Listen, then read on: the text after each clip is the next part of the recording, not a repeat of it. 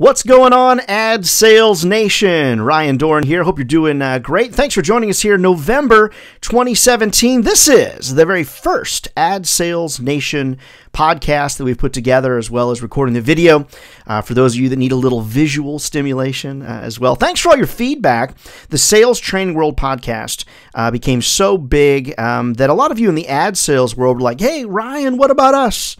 You know, what's going on? What about us? We, we're where you began. Have you forgotten about us?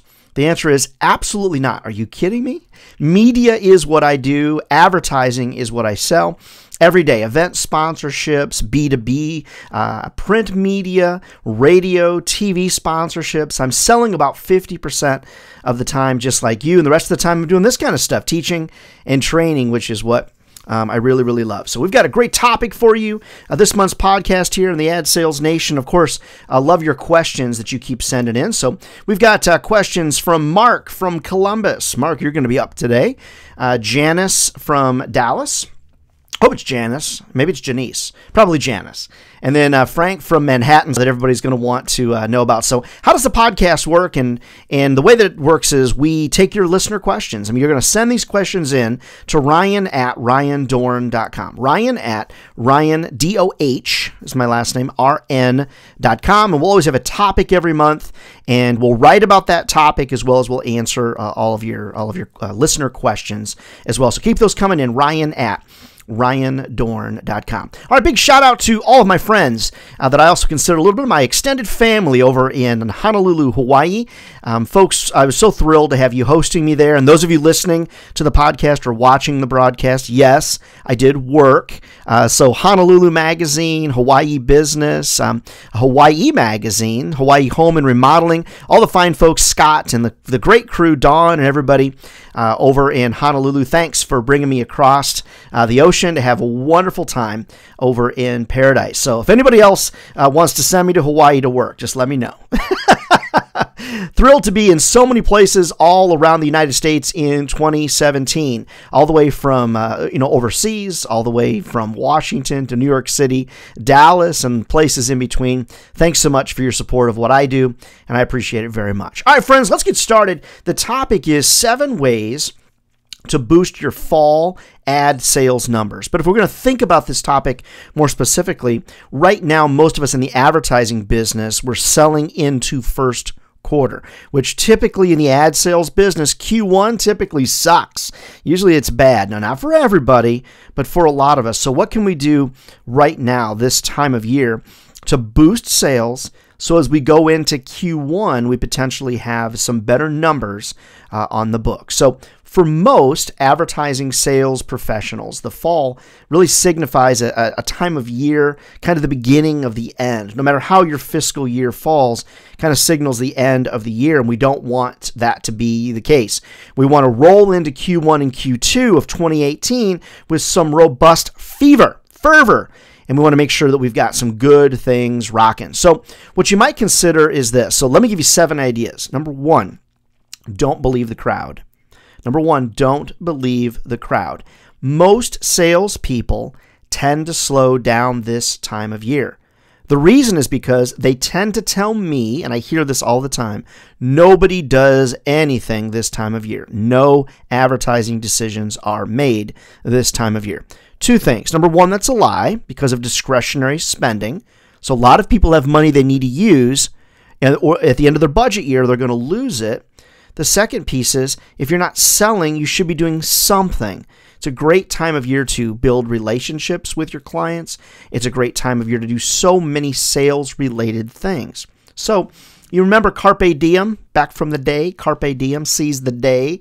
That's what I like to do this time of year. This is a time of year when most salespeople come to a screeching halt.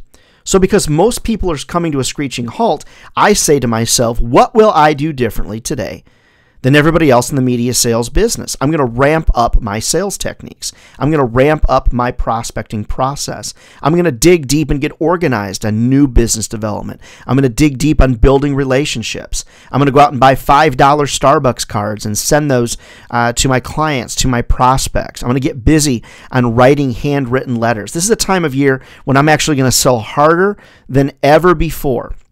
Now, some of you, you're waiting because you're hearing your clients, your advertisers say, hey, we're not going to be doing anything until our budget is approved. Well, geez, I mean, that could be May of 2018. I remember working with one of my sales reps uh, that I managed. Her name was Veronica, and Veronica is a killer salesperson. She's great. And she said, Ryan, I kept keep hearing these people saying, hey, no budget, no budget, wait until approval. And we talked together in January, February, March, April, and we're like, oh my gosh, I mean, these people are not getting their budgets approved until May. So what we did is we really structured some incentives and some programs to really get in front of these people this time of year really help them understand what are our features, what are our advantages, what are our benefits, what are our solutions, what's going to be new for us in 2018. We presented to them a lot of programs, good sales presentations, showed them a lot of videos, went and participated in a lot of trade shows, things like that that would help us be memorable to people. We actually um, bought these little breath mints that we handed out at trade shows that had our logo on the top. That was a big hit. We're doing things this time of year so that we always are constantly reminding people of who we are, what we're all about. So when it comes time to make those decisions, they're going to be ready to go. So the crowd would tell you, hey, let's slow down. It's a time of year around Thanksgiving, Christmas, the holidays, New Year's, nobody's doing anything. Maybe they're not buying right now, unless they've got some discretionary spending, but they're definitely not sitting silent. It's a time of year to really grow relationships, which is number two for me of seven. It's a great time of year to expand client relationships. It's a time of year to make sure that we're doing holiday gifts. It's a time of year, especially around Thanksgiving, do thank you cards. I mean, Christmas cards are kind of like, really? Everyone does that. So I want to do different things. I want to send popcorn as opposed to a Christmas card, or I want to send cookies from one of my clients. Uh, this is a great time of year to be doing webinars, lunch and learns, taking clients to lunch, calling and not talking about sales, calling and talking about the industry, calling and talking about things that are important to them. Remember something, I, I really believe this the less you sell, the more you sell. Now, I said in one of my other podcasts that I wish I could name a book that because it's true. In today's environment, the less you sell, typically, the more you sell. Here's the problem it's a crappy title. No manager is going to buy for his team a book called Sell Less. You know, I mean, honestly, it just sounds terrible. Um, you know, if you if the book was named a killer sales technique, you know, then people would buy it. But in today's environment, when we're dealing with millennial salespeople, when we're dealing with uneducated salespeople, we're dealing with media buyers that don't know our industry or it's their first job. I really believe those of us that have been selling the longest are in the worst position because we're classically trained salespeople. And classically trained salespeople, quite honestly, are way too salesy. We're those people that might say, you know, what you're thinking about today, others have been thinking about for a few weeks. We really need to close this deal. And the more we put the screws to somebody, typically the less they buy from us. So for me, the less you sell, the more you sell. And it's all about the relationships that you have. Now, a lot of times people will say, well, Ryan, millennials don't want to have a relationship with me. Okay, it's because you're old. I mean, who wants to hang out with old people, right? Nobody does. So first of all, first first and foremost, stop hating millennials. That's the first thing all of us that are over the age of 40 need to recognize millennials are in the workforce. They're vibrant parts of the workforce. Maybe you don't agree with their style and philosophies, but too bad.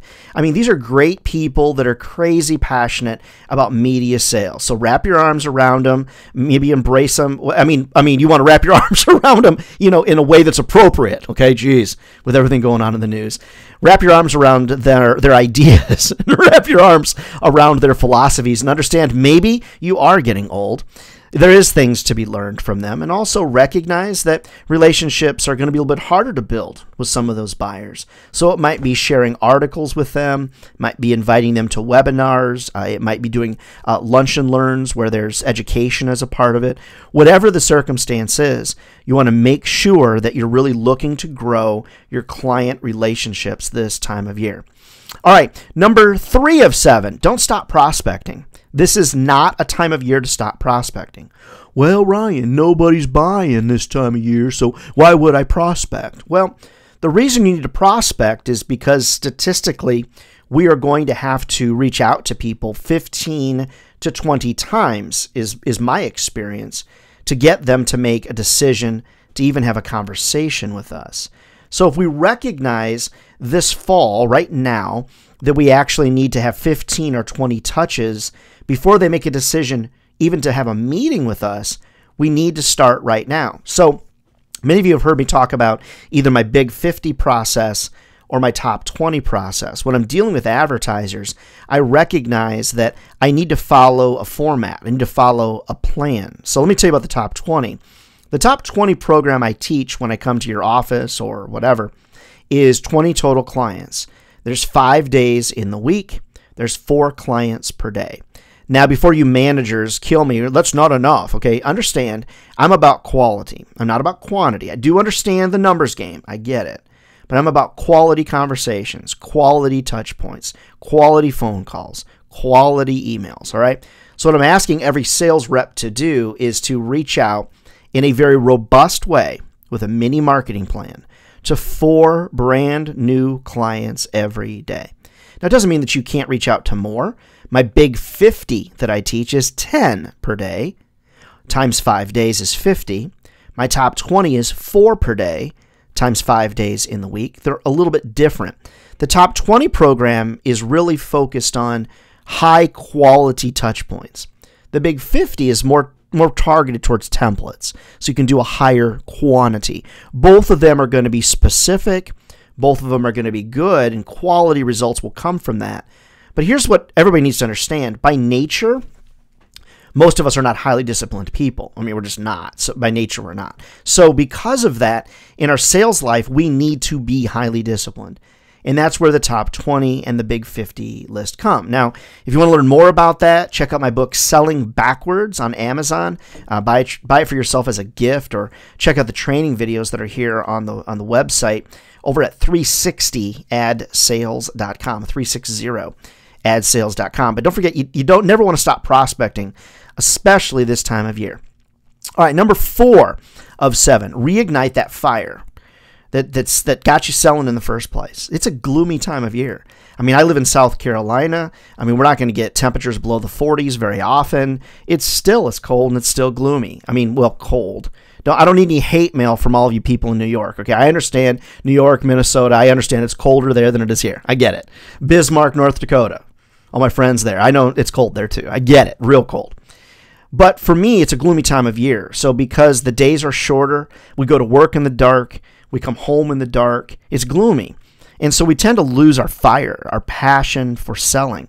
That's what we've really got to be careful about. The passion that we have or don't have translates to our prospects and to our active clients in the advertising business. Now, some of you might be saying, hey, Ryan, this is a great time of year for me. Um, we do retail, sell a ton of business. December is great for us. I understand that. I'm talking about Q1 and Q2. Boost your fall numbers, boost your activity in the fall to drive Q1 and Q2 because typically in the advertising business, first quarter is typically not all that great for most of us. In the magazine business, in the TV business, it can be okay. Radio tends to be a little slow. So, for those of us in the ad sales space, it's important to understand we might need to find the fire, the fire. So, this is what I would ask you if I was coaching you. And if you need a sales coach, reach out. I've uh, just hired a new guy on my team. His name's John, and uh, John's an amazing coach, a veteran. He, he's a great coach. Here's what he might ask you He might say, Go back in time and tell me what excited you about your job when you first started. Would be something that he would ask. Because a good coach is going to ask great questions. All right. So then he might say, okay, think about this differently. Go back in time and think about what got you excited to sell this product in the beginning when you first started what got you excited it's sort of like when you're having when you're struggling with a relationship and a counselor might say to you hey let's go back let's figure out what did you love about this person in the beginning has that changed or have you changed have they changed and go back and find find that fire find that passion a lot of times when I'm working with a media sales professional, I'll realize very quickly that they've lost their passion for selling. We've got to go back and find what was it that got them excited? What was happening in their life? What was it about their clients that got them excited? What were they doing? What was their time frame like? What was their schedule like? Um, what were they eating then? What were they drinking then? Or what were they smoking then? Or you know whatever. It's a joke, people. What what was happening in their life at that time that helped them fall in love with the media business in general or what they're selling? So this time of year, number 4 of 7, reignite that fire for what you're selling because that passion comes through to your prospects and to your clients. All right, number 5, you're not going to like. Number 5, I'm warning you now. Number 5, you will not like. Number 5 is clean up your CRM tool. This is a great time of year when things slow down just a touch, to get inside your CRM tool and really, really clean it up.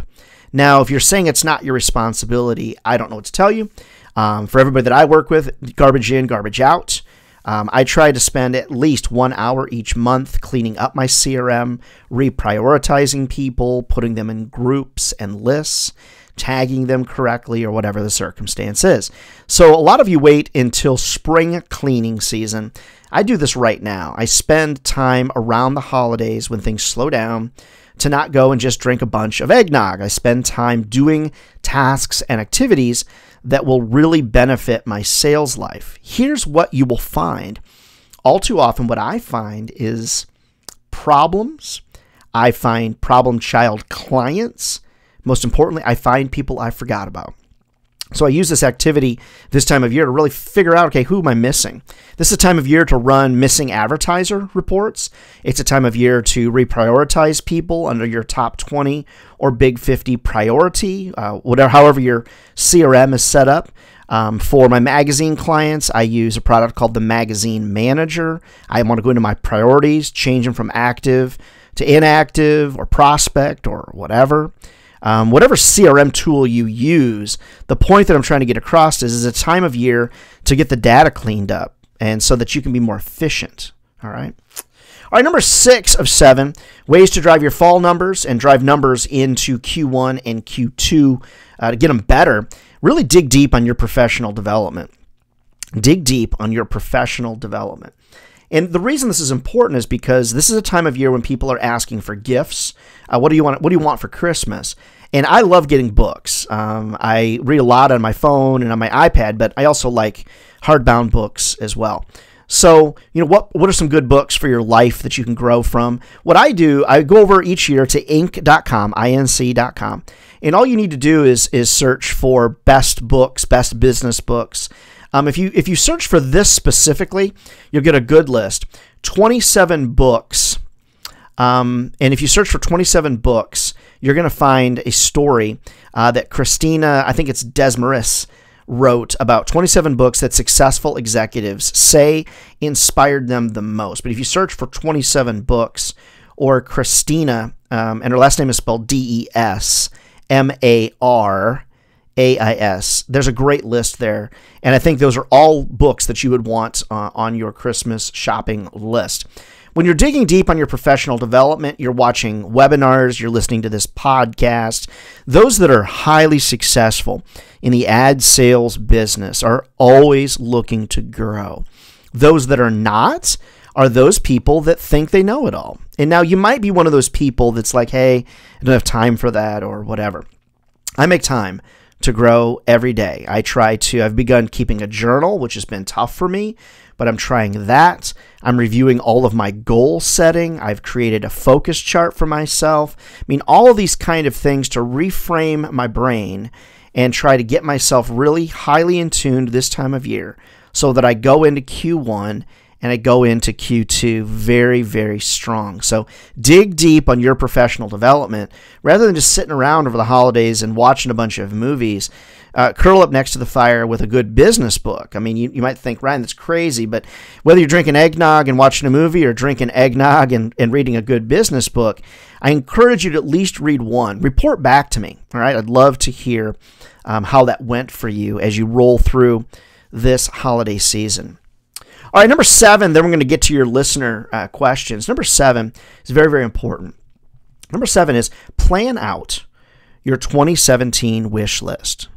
Number seven is plan out your 20, I'm sorry, your 2018 wish list is what should be. Plan out your 2018 wish list. And what I mean by that is I want you to think about who are the five or 10 people. 10 is usually a good number. Who are the 10 people that you want to have in 2018 on your client list. Now, don't make them all whales, because if they're all whales, it's going to be a little bit hard to manage. Have a few minnows, have a few cod, have a few whales, have three different types of fish there, and plan out that list of 10. Begin to think about what can I do now to create a mini marketing plan to put my name, my company name, my publication, my TV station, my radio station, my website, whatever, in front of these people so that as we get ready to go into 2018, they'll be thinking about me. Now, some of you are smart enough to recognize this time of year right now, the month of November, is when agencies need your stuff. Absolutely accurate. You are absolutely right. What I found though is the need for November, the need to have things done in November is actually stretching into December and January as people are finalizing budgets and finalizing planning. So it's not too late to be thinking about who do I want on my 2018 wish list? And then what am I doing from a mini marketing perspective to put my brand, my name in front of them? Is it putting your magazine with a post it note handwritten in a manila envelope that you hand address and sending it to somebody? If you're in the radio business, is it sending somebody some earbuds that have your logo on the little case that you can buy online for five bucks and send them to them with a note? Is it handwritten thank you notes to them or a handwritten note? Is it a $5 Starbucks card? It is it a gift certificate to Buffalo Wild Wings for say $15 and you say, hey, have lunch on me. Um, but if you invite me to lunch, you know, I'll buy you lunch twice or something, or those type of things that are creative. Sending popcorn to people from 1-800-flowers.com. I would avoid flowers, you know, and Shari's berries are awesome. Um, that's something that people really, really love. So there's a lot of little tokens and gifts that you can put in front of people to get your name and your brand in front of them. Remember, creative people typically like creative sales strategies. One of the things overall that's important as we think about all seven of these ideas is really to understand more than anything, this is a time of year to sell. It's not a time of year to slow down. Those that slow down, I will outsell you because I'm not going to stop. I'm going to use your lack of ambition this time of year to run around you or run over top of you. So, number one, don't believe the crowd. The crowd is going to tell you nothing happens this time of year, so don't slow down. Number two, find ways to expand relationships. Conference calls, uh, media get togethers, talking about media planning and strategy, those types of things are amazing this time of year. Number three, don't stop prospecting. Refine your process. Come up with a new process. Don't stop prospecting this time of year. Number four, you will fall into a rut if you let yourself do that. So, number four is really reigniting your passion for what it is that you're selling. All right, five of seven, clean up your CRM. You, you just got to do it. If your CRM is perfect, then work on templates, work on other things, clean up your computer whatever it is, but you, you've got to really clean up your CRM. All right, number six, dig deep on your, on your professional development. Dig deep. Ask for books for Christmas. Attend webinars, those type of things. And then number seven, plan out your 2018 wish list. It's so important for you to understand you really have to plan ahead for 2018. Who are the, the people that you want to see on your wish list? All right, cool. So there's seven ideas for you. Um, now, my favorite part of our program every month is answering listener questions. So let's check those out. We've got one from Mark in Columbus, Janice.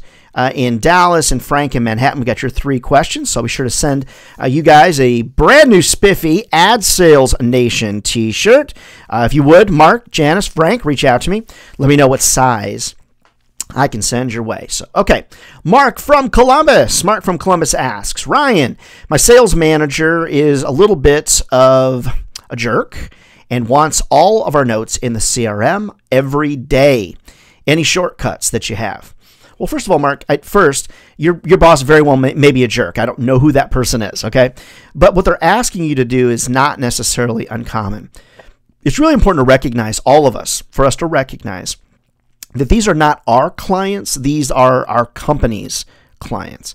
And so if you were to win the lottery, Mark, would you come back to work? If you were to get hit by the proverbial bus, would you come back to work? How many of us have walked into a sales job and there's been no notes on previous clients? That's a problem. And so it's a fundamental problem because you cross the street or drive your car every day, Mark, and God forbid something was to happen to you, the person behind you would not know what had happened. I hope that never happens. If you win the lottery, you're probably not coming back to work. I'm not. If I win a big enough lottery, you will never hear my name again, you know? And so I don't think that this boss is a jerk for asking you to do that. So your question really was shortcuts. Yeah, I've got a lot of shortcuts. Two things for you. Number one, I take notes directly into the CRM when I'm having sales meetings on my iPad. I simply ask my client, Do you mind if I take notes during our conversation? Of course, they're going to say, Sure, no problem. Do you mind if I take the notes on my iPad? Most people don't care. So, what I'll do is I'll use my stylus. Where's my stylus at? I usually have it right here. Where'd it go? Okay, usually I have it right here. And so here we go. Here's my stylus. So I use my stylus and I use Evernote and I take notes on my iPad. You can type them if you want. And then I take those and translate those just with a couple clicks into text format, copy and paste that into my CRM. The other thing that I do is I use the microphone built into my computer, and I have dictation software installed on my computer. And so I can actually go and then put the cursor in the notes box on the uh, on the computer. I can click the microphone and I can dictate directly into the computer. So I might take written notes. You can see that I've got like a whole page of written notes here. After I was done, I went and put the uh, the cursor there and then just dictated the notes into the CRM. So whatever CRM that you use, I think it's important to keep your notes accurate. Plus, for all those those of you like me over the age of 40, wow, I am uh, I'm amazed at how much I forget. Let me just let me just leave it there. I'm amazed at how much I forget. So, good question, Mark, from Columbus, Ohio. All right, Janice, and I hope it's Janice, not Janice. It's spelled a little bit uniquely, so I love that unique spelling. Janice will say Janice, and if it's wrong, then uh, let me know and, and I'll owe you something else. Janice from Dallas. Uh, she writes, I'm not hearing as much about social media as an advertising alternative anymore. What's up with that? So I'm guessing, Janice, I wish I had you on the phone. I'd love to get a little more detail from you because I hear about social media all of the time from advertisers. They're moving to digital, they've moved to digital, Facebook is their holy grail or whatever. The reason in your market, the Dallas Fort Worth market, maybe you're not hearing about it as much anymore is because the social media landscape is highly cluttered very, very cluttered. So it's possible the reason you're not hearing about it is a lot of local business owners are, are tired of it. They're not getting the results that they once got. Statistically, if I look at a recent article from Forbes.com, we see that Facebook is in another uh, negative year of active user growth, meaning users that are highly active, yet their audiences still remain quite large. So I think it's important to recognize that social media in general is is changing. It's very crowded. It's also quite expensive. Cost per click advertising has jumped almost 200% according to marketingprofs.com has jumped almost 2 to 300% over the last 3 or 4 years depending upon the platform that you choose. It used to be 5 bucks you could boost a post on Facebook and kill it. Now, you know, you're looking around 20 bucks. So it's not as cheap as it once was. Also, I think people are tired of the time commitment. Our advertisers are flat out just getting tired of the time commitment that it takes. I was reading an article on Inc.com a few months back, and the article was very specific to note that successful marketers they're going to spend 15 to 20 hours per week managing their social media. Now, you maybe you hire somebody to do that, but that's expensive. So I'm going to guess, Janice, probably that's why you're hearing about it. Now, one of the cool things about our media products, magazines, newspapers, radio, TV, media products, and one of the reasons that I love being a part of this ad sales nation eh, of people like us is because we are unique right now. Um, we are unique. We've got a lot of inventory typically that's available. Um, if an advertiser is looking to own share of voice in the market, they can buy a lot of affordable space with us for most of us. So I think that's an important piece. Even national publications that I'm working with are seeing an uptick in sales because digital's awesome. I love digital, but quite honestly, people are, are spending less and less time paying attention in the digital space, and that's why national TV and national publications, magazines are doing a little bit better right now. So I think we want to own it. We want to really help people understand digital is crowded, it's getting more expensive. And sure, they can say all the time, well, I don't get return on, on investment from print. I always ask, but what does that mean to you? Tell, tell when you say you don't get ROI, what were you expecting to have happen? I mean, you sell a $5,000 medical device. What were you expecting when you ran that print ad? Were you expecting to immediately get 50 phone calls? I mean, that's not how buyers operate in today's environment. So, all right, good question, Janice from Dallas. Love the Metroplex down there. Spent a lot of time in the Dallas Fort Worth area, and uh, lots of good friends down there. All right, next question, Frank from Manhattan. Shout out to all my friends in uh, at all the media companies in Manhattan. I, I'm there almost every month. Love the New York City area. All right, so forgive me. I'm just going to read this the way it was sent to me because um, I think it's kind of funny. Frank says, My boss is a phone sales old fart. No one uses the phone to sell anymore. Am I right?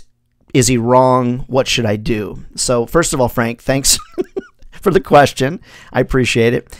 And um, it sounds like you're dealing with a veteran seller uh, that is a phone guy. So, here's the bad news for you, Frank. Uh, as much as I love your brother, the phone does still work. It's a differentiating factor. Is it the way that most people prefer to sell? No. Is it the way most people prefer to receive information? No. But I've done a lot of different testings with me testing with media groups, large and small, across around the world, across the United States. Those salespeople that use a model of phone and email, so they back each other up. Those media salespeople that do that typically do better than those that do email only. Now, I don't think that you're saying that your boss, your your older boss here, is wanting you to do only phone sales. If, if that's what he's saying, then I would say that that strategy is old school. Doesn't mean it, it can't work, but using email as a part of your phone strategy is where I see the vast majority of success. The other thing to recognize is I have a lot of clients that like to be texted and I'm not a big texter as it relates to clients uh, sales, but I do know a lot of people that are texting more with their phones. I think the important piece to recognize is you, if you want to keep your job, Frank, is that you want to be respectful of your boss. You want to potentially try some new things. You want to involve some of your newer technology or ideas with what he wants from you if you're not a good fit for that group and for his style, there's a lot of media sales jobs looking for really good professionals. If you don't have a good stylistic fit, but if you like the product you're selling, I would focus in on, hey, what can I learn from this guy? He has learned, uh, you know, for for quite some. He's, he's sold rather for quite some time. What can I learn from him? And then just understand that phone is not dead. Uh, a lot of salespeople are trying to tell me that it's being preached online by a lot of different folks that um, that phone sales is dead. I actually have not. I'm not seeing that in my own sales life, but I am seeing a, a hybrid email and phone. When I can get someone to a phone meeting or to a GoToMeeting meeting, then I always close more deals. I also think it's become very expected uh, for you to share a GoToMeeting link when you're going to be meeting with a prospect. So I think that's uh, that's very important. So, all right, Frank, Janice, Mark, I'll send you an Ad Sales Nation T-shirt. So email me, let me know your sizes on that, or somebody from the team will. Keep your questions coming in. Ryan at ryandohrn.com, D O H R N, Ryan at ryandohrn.com. All right, friends. Well, that's our show for the month of November. I like to always spend 30, 40 minutes with you sharing some insights, some ideas. Hopefully, that will encourage you. Uh, don't forget, if you want me to come to your office or to your conference or whatever uh, in 2018, I book up almost six months in advance. So thank you for all your business. I'm very blessed to be busy. Appreciate all of you. Remember, you can find us online at 360 adsales.com. 360 adsales.com. And uh, you can also find us online at brainswellmedia.com. My email address is ryan at ryandohrn.com. Well, I hope you enjoy the Ad Sales Nation podcast and broadcast. We'll keep doing it for you each and every month, starting now all through 2018. If you'd like to be on the show with me and like to have your questions answered live, reach out to me, Ryan at ryandohrn.com. All right, friends, don't forget if ad sales was easy, everybody be doing it. Okay? And they're not. So we're either crazy or or we found a career uh, that will feed our families for a lifetime. All right, get out there and sell something so that your boss can afford to bring me into your office. We can have some fun uh, together. If I can help you, reach out to me online. Until then, we'll see you out on the street. God bless everybody. Take care and happy holidays. By the way, take care.